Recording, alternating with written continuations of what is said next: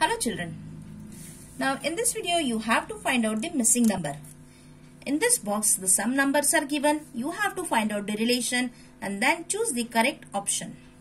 Now this is 1, 3, 7. There is no relation. But if you see in this way 1, 5, 25, 125.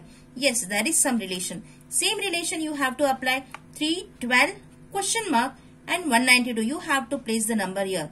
7, 14, 28 and 56. You know the tables. So directly what is the clue that comes in your mind?